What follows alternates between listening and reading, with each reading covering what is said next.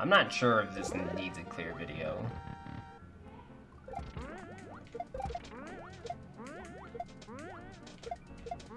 It's probably always good to have a clear video for everything.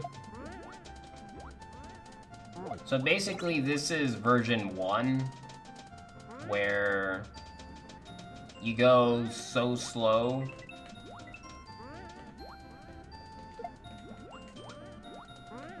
to the point where the Koopa will fall. God, look at this. I even went too fast. Anyways. You go so slow to the point where the Koopa falls in there. And so he jumps up using the spring in order to go in the door.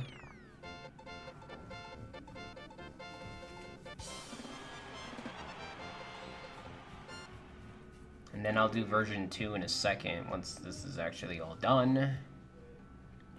Thwomp elevator practice. Extra practice. Section after door in 1-4. Uh, slightly modified. Koopa equals key.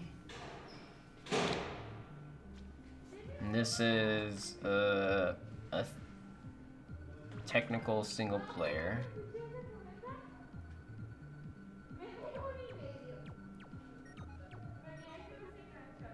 So I'm losing frames now because it's uploading. There you go. W8WM2ND2AG.